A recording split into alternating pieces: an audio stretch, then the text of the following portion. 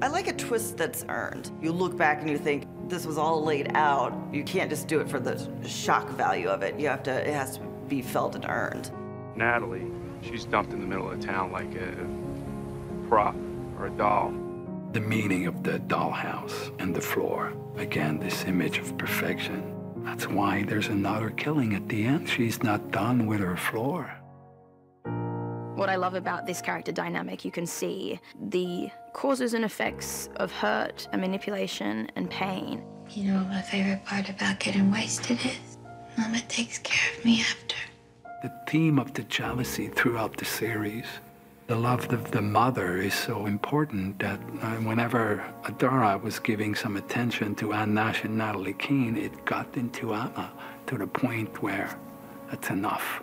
Same with her new friend at the end. I'm thinking about going into either politics or journalism. Hmm.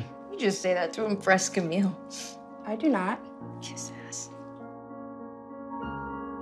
Such a series told from Camille's perspective didn't make sense to cut to the explanation as Camille sees the deed because she wasn't there when Amma did it. So don't tell Mama, bye-bye, be patient, you'll be rewarded. There you go.